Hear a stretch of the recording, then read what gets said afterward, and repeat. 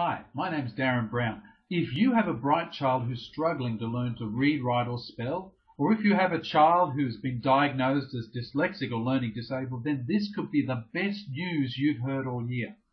You see, I'm a behavioural optometrist, and I've been working for over 20 years with kids with exactly those problems.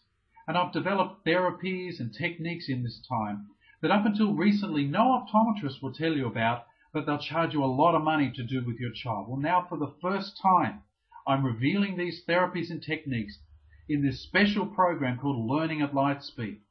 It's not a bunch of theory or a bunch of extravagant things, weird stuff. It's very, very practical and it works in all of the patients that I've done this with. We've seen improvements in reading, writing and spelling.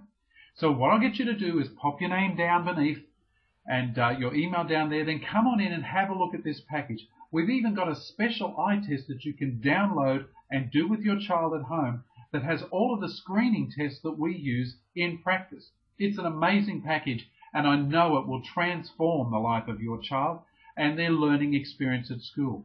So don't let your child suffer any longer.